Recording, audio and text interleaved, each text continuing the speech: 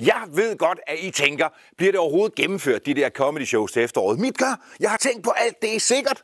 Det er mere sikkert, end at være derhjemme. Alle ulykker sker i hjemmet. Andreasbo.dk, hvis du har lyst til at se det. Afsted! Nej, men øh, så var det, jeg tænkte på. Det sagde hun for også i går. og Ståle, han kommer ind for højre. Hvad kan være så høj? Hvad kan så? Og Amalie, hun er kun 12 år indvendig, så hun fatter. Hat er helt lort.